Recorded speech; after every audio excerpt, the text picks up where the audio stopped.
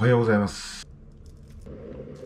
ちょっとこう入れつつね、明太子クリームパスタ。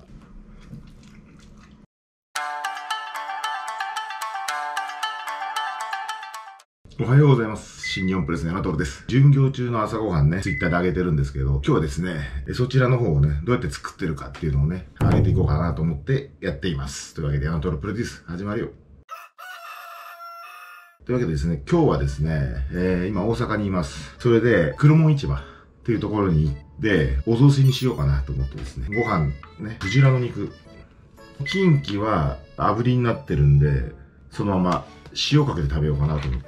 お雑炊といえば漬物。でね、このホテルに朝食がついてて、ランチボックスっていうんですかね、持ってこれるタイプだったので、ここにちょっと一応おかずとして、唐揚げと肉団子と、まあちょっとお野菜と、ちょっとあとご飯が少し足りなかったかなと思ったんで、ご飯を少し入れてきましたと。というわけでね、これから早速調理していくんですけど、僕ね、味塩が結構好きで、いつも持ってるんですけど、キンキに味塩をね、少しだけ。多分こんなのでいいんだろうな。これはもうこれでおかず完成です。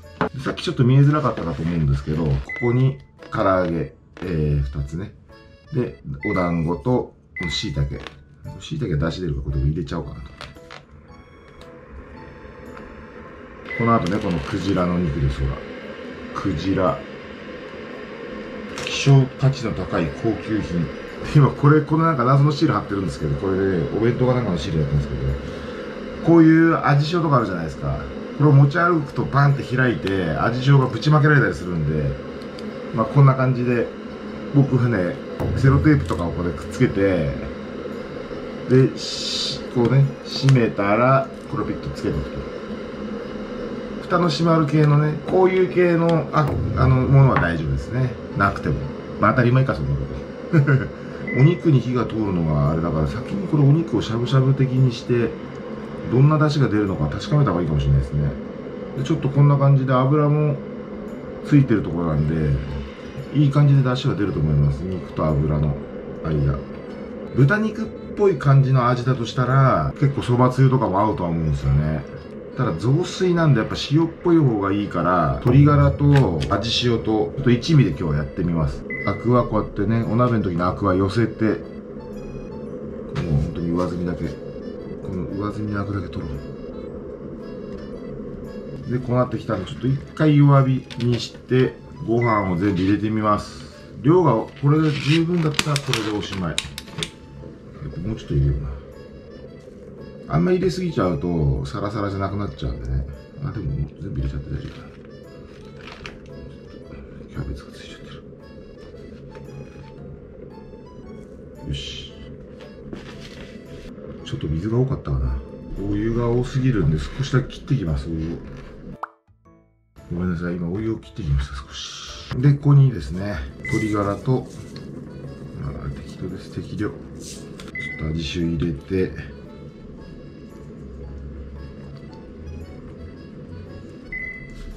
だし入れた方がいいかもしれないな。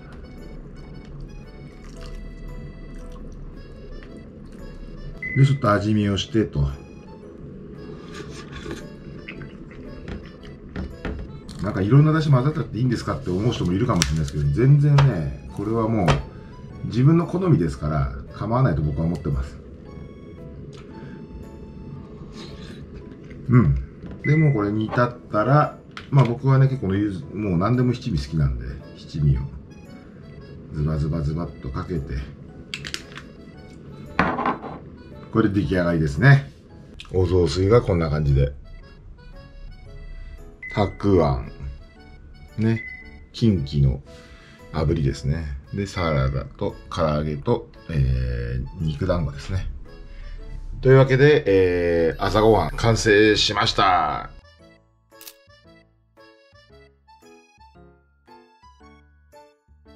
はい、というわけでいただきます。あ、美味しい。美味しいです。クジラ肉食べてみます。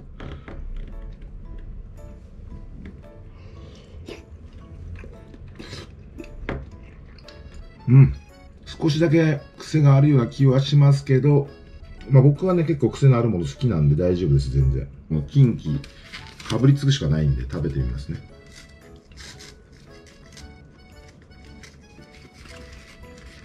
うん。美味しいです。これを2つぐらい買って入れてもよかったかもしれないですね。ただこれやっぱキンキなのであたくあんも美味しい。まあまああのねお値段するのでお雑炊が1500円になっちゃいますからね。ちょっとこの入れた椎茸も食べてみます。椎茸もっと持ってくればよかったな。椎茸正解ですね。でこんな感じで、えー、全部食べていきたいと思います。というわけでですね今、えー、パスタを作ろうと思っていますお鍋にお水を入れて今日カルボナーラにするので、カルボナーラのソースを入れます。ちょっとパスタ作ってる中で、どうやって温めたらいいんだろうと思って、同時にはなかなかね、本当は優先したいんですけど、温めらんないから、でもここに乗っければいいじゃんってことにね、気づいてですね、そういう風にやろうと思思ったという次第です。でも今日カルボナーラなんですけど、昨日の生配信の時に食べようと思ってたんですけど、このね、北海道産粒貝、食べきれなかったんで、パスタ茹でる時に一緒に入れて、クラムチャウダーのようになるんじゃないかっていうのを勝手に思ってます。今日もホテルか、あの、変わるので、どんどん使わないともうしょうがないんで、やると。本当だったらお塩入れたいところですけど、まあ、それは入れてませんと。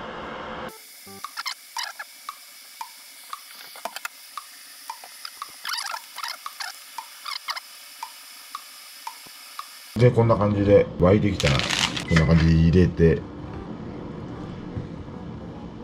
で、こうやってゆっくり押していけばね、結構スススッと入っていくんで。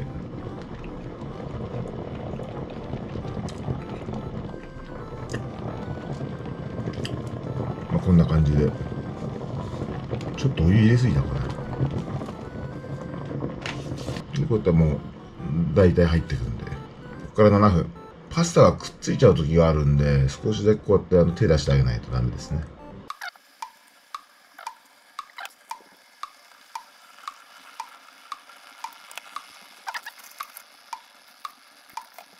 熱が続いてスプーンあフォークがこんなになっちゃった今。今はね実は朝の7時ですからね。7時にこれ撮影してると。だいたい9時ぐらいに出るんで、まあ、パッと取ってパッと食べて。今日はカルボナーラですあ忘れてた。これ乗っけなきゃいけないんだ。やっちゃったよ。あと3分しかないじゃん。ってことでここから粒貝を入れますと。ね多分一緒に入れた方が臭みが飛ぶと思うんでいいと思うんですよね。こういう感じで。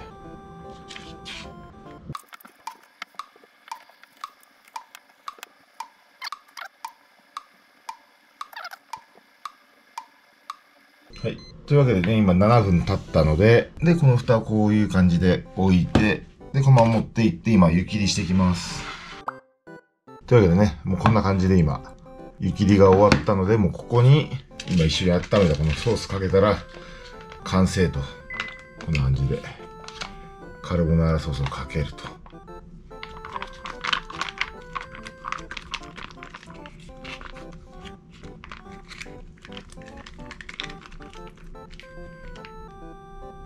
で、これ混ぜてね。構重たいな、これ。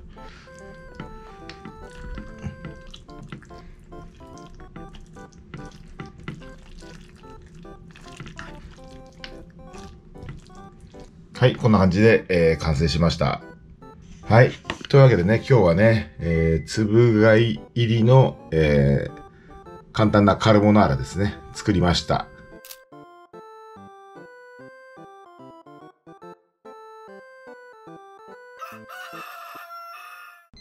おはようございます。今朝、朝の7時15分ぐらいですかね。今からね、朝ごはんを、あの鍋を使って作ろうと思います。その前にちょっと材料を紹介します。今日はですね、明太子のクリームパスタにしようと思ってて、スパゲッティですね。生クリームが売ってなかったんで、7分のところを5分茹でて、お湯を切って、で途中から牛乳に変えて、牛乳で茹でるっぽい感じ。で、えー明太子ですね。粉チーズもないんで、チーザードレッシングの中によく見るとですね、まあ、チーズとですね、ニンニクとかアンチョビソースが入ってるって書いてあるんで、これでね、こうバターとかチーズかける代わりになるんじゃないかってね、勝手に思ってます。ね、塩気足んなかったら味塩。あとブラックペッパー。この辺を使っていきたいと思います。まあ、明太子はもう余熱でいいと思うんで、とりあえず開けて、やりやすくしといた方がいいと思うんですよねだから開けてですねこういう感じで。皮を剥がすと。皮を剥がしながら皮を食べちゃってますね。もったいないからね。結構このローソンで買った明太子なんです。けど辛いですね。ピリ辛で美味しいですね。こんな感じでほぐしておきました。パスタは今1個やっちゃったんですけどもうねこの2束とかやるときは先にこうやって外して手に持ちます。こんな感じでね。今日はですね料理っぽくしたいなと思ったんでこの明太子クリームパスタにしたんですよね。でこれね撮影中この前パスタ作ったんですけど何がいいってねこの撮影時間が出てるんで茹で時間が分かりやすいっていうねどんなことでもねこういう生活とか人生の中で利点を探すっていうのはね非常に重要なことだと僕は思ってるんでね。はい。沸く前に全然パスタ持っちゃうっていうねせっかちが出ちゃうっていう。こういうところもや沸いてやるクッキングいいところですね、まあ、こんな感じでちょっと茹だってきたらちょっとこう入れつつね。前もやりましたけど。本当は降りたいけど降りたいあ降りたいというか本当は降る人多いと思うんですけど僕は降りたくない派なんでね。こうやって無理くりだんだん入れていくと。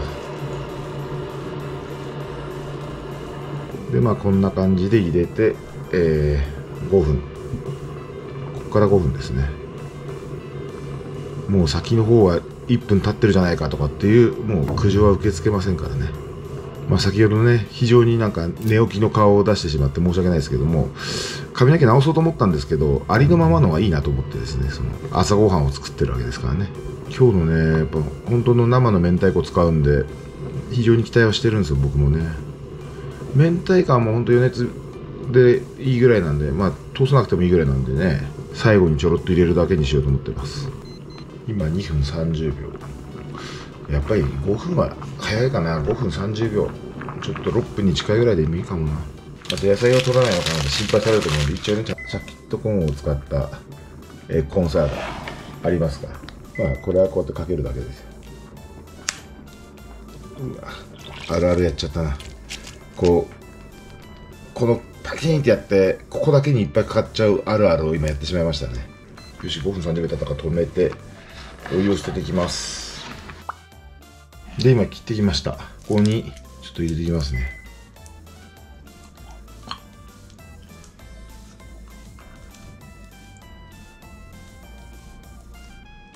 今とりあえず100ぐらいかな。入れました。これが正解かどうかはね全くもってわからないですよね、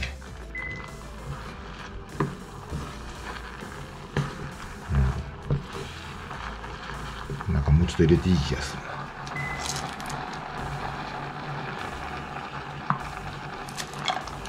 120ぐらいですね多分今。ここに味塩でしょ？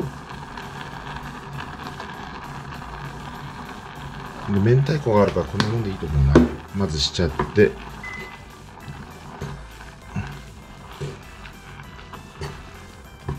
うわ今のところはねなかなかクリーミーとはかけ離れてますけど。ここにシーザードレッシングを入れてどうなるかだな。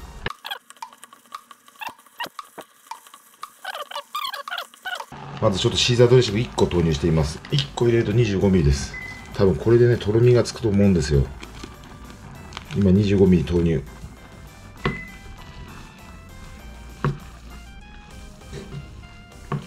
あいい感じのとろみがついてきた。そしてここで明太子投入。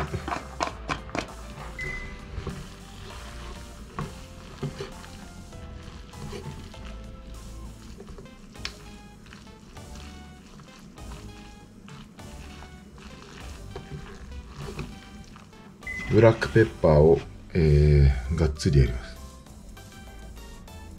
はい、というわけでですね、えー、これが明太子クリームパスタ完成しました。混ぜるとこんな感じ。ちょっとね、意外ともたもたしてていいかもしれないです。まあ、あと今日はサラダを食べます。というわけで今から食べていきます。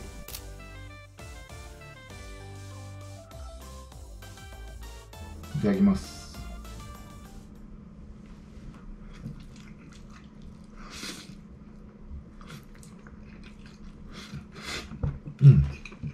美味しいです非常に。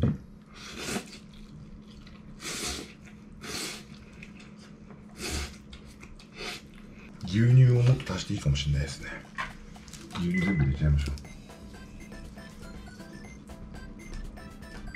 あとちょっと今塩が少しだけ足んないですね。味自体はねめちゃくちゃ、えー、美味しいです。なので試せると思います。うん。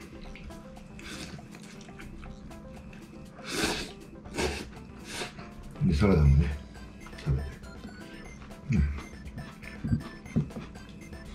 というわけで残りは、えー、食べていきたいと思いますはい。というわけで今食べ終わりました。全部食べました。結局ね、100g に対して、えー、牛乳を 100g 入れると。で、ちょっとシーザードレッシングは、えー、半分ぐらいでいいと思います。だからこれ1個を 200g に1個入れるとちょうどいいんじゃないかと思います。あとはね、ちょっと塩で調整して、ブラックペッパーは絶対あった方がいいと思います。